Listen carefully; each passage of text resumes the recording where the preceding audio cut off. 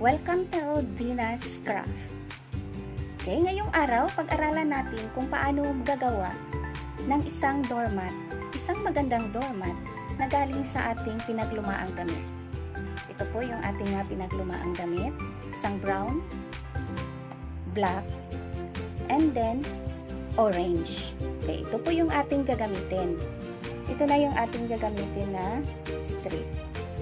So, gupit kayo nito ng marami para sa ating gagawin na rugs. Okay, sample lang ito. Actually, mayroon akong ginupit dito marami.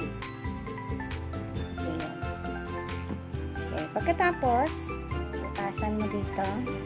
Ang ganito pagawa. Okay, butasan mo. So, anong purpose ng butas dito? So, dito yon ipasok yung ating isa yung black para mag-combine yung lahat. Yung tatlong strip ng tela.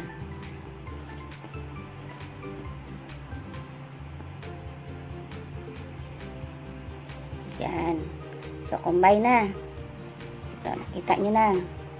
Gamitan natin ng uh, isang ginawa ko na plyboard para hindi gagalaw yung ating strip.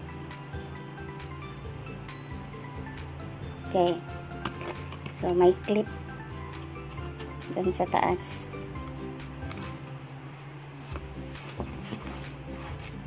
So, nakita nyo yung clip. Dapat mahigpit. So, dapat nasa gilid yung orange, brown, at saka yung black. Paano magawa ng isang nakabreeded na uh, trees from these three strips of cloth. Okay. So, ganito. Ipasok sa ilalim. Tapos, ganon.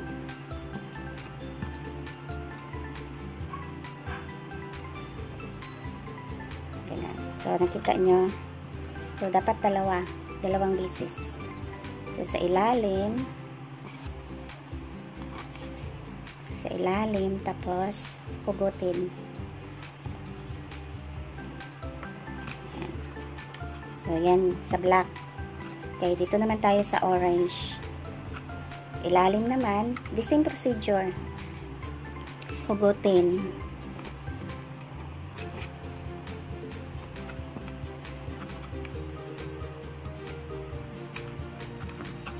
dalawang pieces pa rin sa ilalim tapos hugutin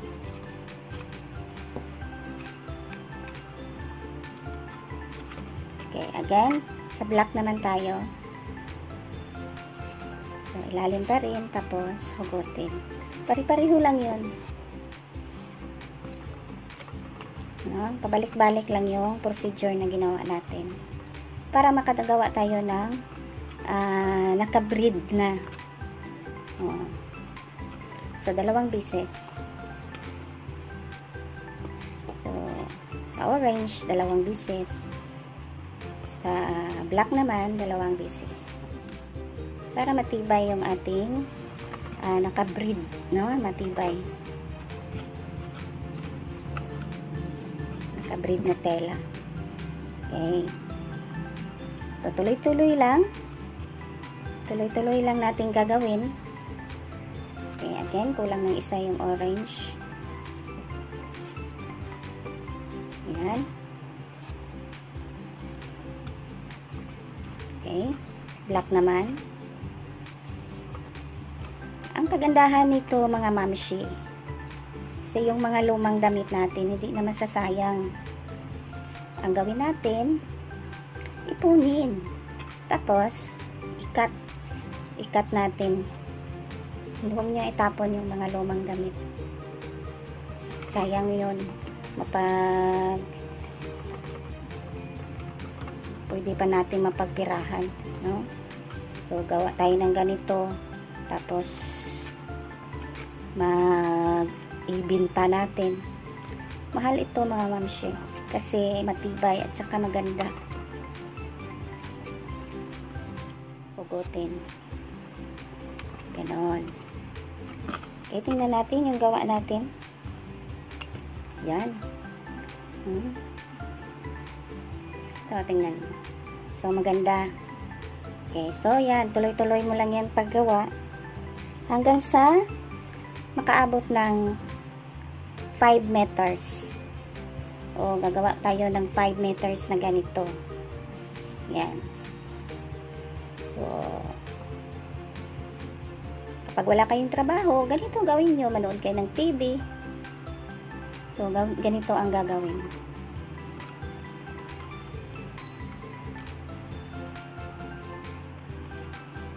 Okay, meron na tayong nagawa. Ha? Okay, ito na. Marami na tayong nagawa. So, 5 meters ito. Yan. So, pagkatapos, pagkatapos nating nakagawa ng 5 meters, so, ang ating gawin, gagawa tayo ng isang mat na, no, doormat. So, paano? Ito. Itong gawin natin. So, i-fold natin yan. ito. Lagyan natin ng ganyan para hindi mahirapan. Ang gawin pala nating doormat is oval.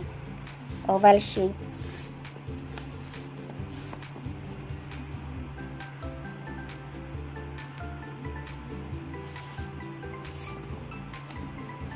Oval shape na doormat. Ang gawin natin, itusok natin dito. Yan.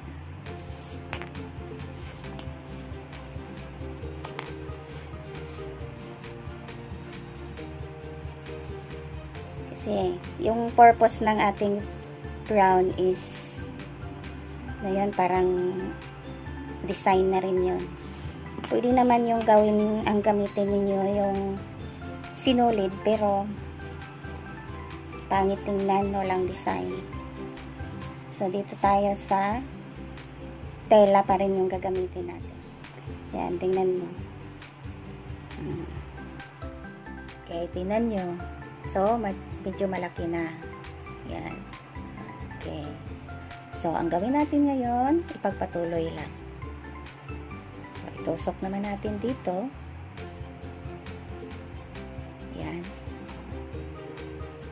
And then, tuloy-tuloy lang ang paggawa nito hanggang sa matapos.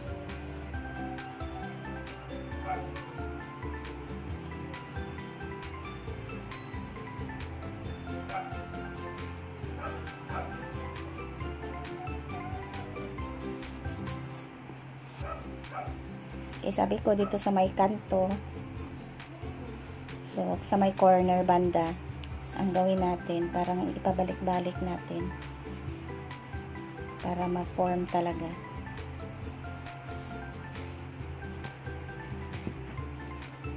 Ayan.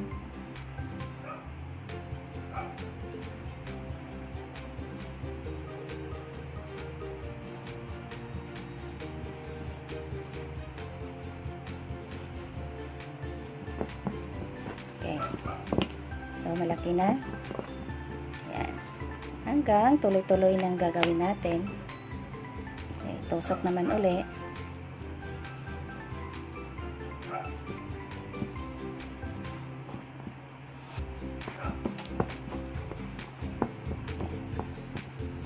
Hanggang sa tuloy-tuloy natin gawin. Ito. At hanggang sa matapos na ating mat, mat doormat.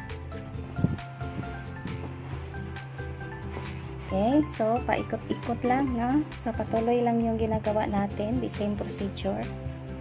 Yan. Tingnan nyo, malapit na tayong matapos. Malaki na siya. Kita natin, doormat na.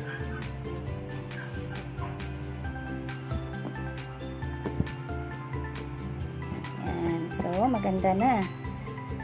So, mga mamshi, alam mo pagkatapos nito parang mawala yung pagod mo kasi makita mo yung ginawa mo na sulit naman. Oh, napakaganda. Yan.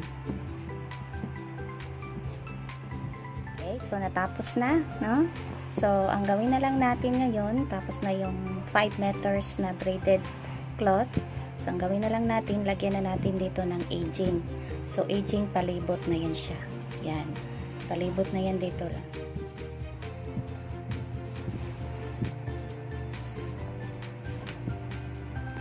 Okay, ito po yung ating aging edge. So, edging sa ating doormat.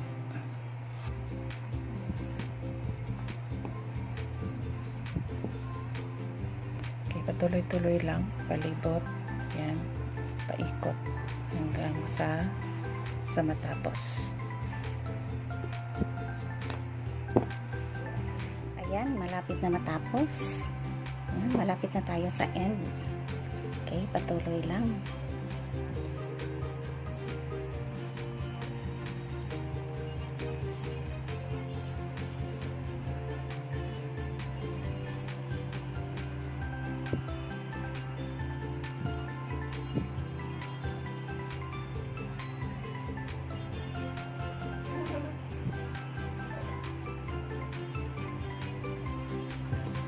Okay.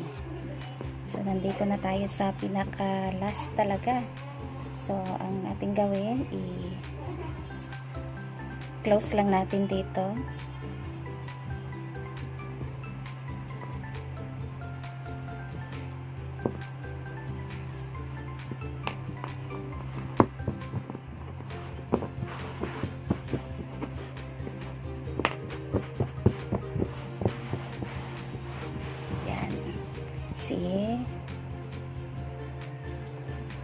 So, tapos na ang ating doormat. Napakagandang doormat. Yan.